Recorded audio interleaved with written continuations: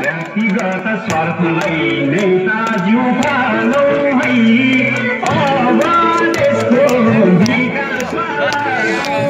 विष्णु सरलाई नजिकैबाट खिचेँ मैले।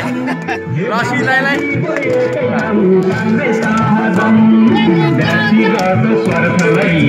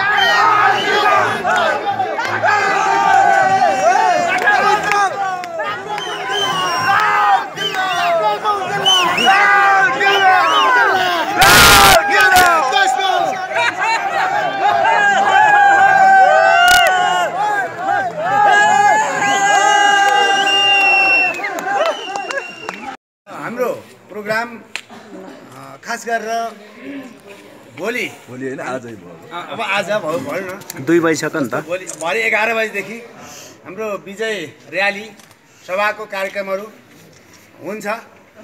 त्यसमा हामीले भव्य कार्यक्रमको तयारी गरेका छौँ। हामीले हाम्रा जनताहरूलाई मतदाताहरूलाई कार्यकर्ता साथीहरूलाई नेताहरूलाई बोलाएका छौँ।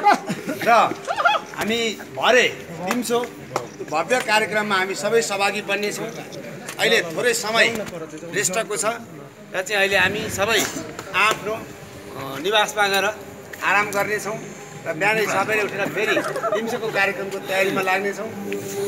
भन्दै यो आजको यो विजय र्यालीमा यो विजय